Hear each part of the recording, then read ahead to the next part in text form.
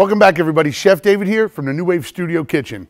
And today I'm gonna to show you something that most people don't realize. And one of the tricks I use is using my pressure cooker to make basically an all natural food-based potpourri. Let me show you how quick and easy this is. All I do is set this to sear, turn it on. I've got a couple ingredients in front of me here. And to me, they just exude in a holiday spirit, the way they smell, especially when they're mixed together. Two teaspoons of black peppercorn, two teaspoons of fresh cloves. This is about a tablespoon and a half of the star anise. And this is two big tablespoons of juniper. This couldn't be simpler. There's five or six fresh bay leaves there. And then cinnamon sticks, use as many as you want. Just two and a half quarts of water. In about an hour, we'll have the most amazing simmering potpourri broth, making the whole studio kitchen, and hopefully your home too, smell like the holidays.